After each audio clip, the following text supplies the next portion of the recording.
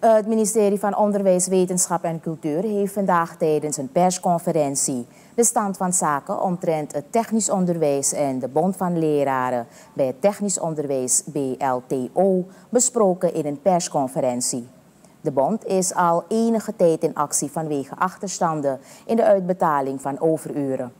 Robbie Holband, directeur beroepsonderwijs, legde uit dat er, hoewel er afspraken waren gemaakt met de bond over de uitbetalingen van de achterstanden, de bond toch ervoor koos om nog in actie te blijven. Wanneer er gezegd wordt van de overuren worden niet uitbetaald, is er natuurlijk daarachter ook weer een andere, andere activiteit dat, dat plaatsvindt. Je moet op een gegeven moment de uren gaan afzetten tegenover wat er daadwerkelijk aan de hand is.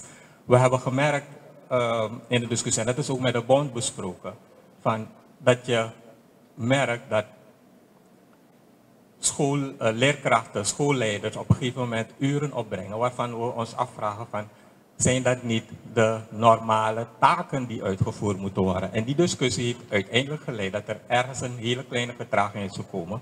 Maar toen wij door hadden dat er um, het onderwijs verstoord zou worden, je merkt dat vanuit de kant van de dienstverlening je eigenlijk niets hoort. Maar het technisch personeel, die hebben dus op een gegeven moment uh, vanaf uh, februari begonnen zij hun uren te krijgen, overuren te krijgen.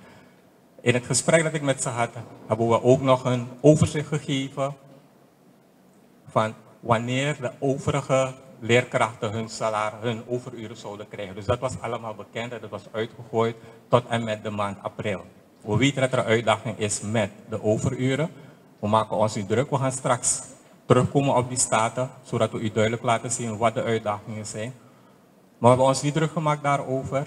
En we zijn bezig geweest om die achterstanden in te lopen.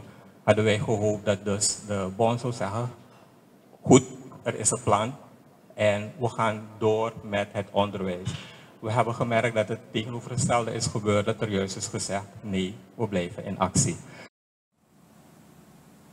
Natasha Benanon, directeur administratief en technisch beheer, gaf in een presentatie aan dat het ministerie haar werk gedaan heeft om de lesurenstaten die de leerkrachten sturen te verwerken en te laten uitbetalen. Ze legt uit dat de lesurenstaten tot en met 8 april zijn verwerkt. En ik heb het zo aangegeven, omdat ik toch wel middels feiten wil aantonen dat al deze lesurenstaten zijn verwerkt maar ook zijn betaald. En als u kijkt, dan ziet u daar, we beginnen met AMTO. U kunt precies zien al de leerkrachten die werkzaam zijn op de verschillende AMTO-dependences, op NATIN. U ziet ook wanneer de staten zijn verwerkt en zijn uitbetaald. Het is een feit. We gaan verder. U ziet ontvangen lesuren staten van de verschillende scholen. Waar u ziet april, betekent het dat in april, dus deze maand, al deze lesoveruren zullen worden uitbetaald.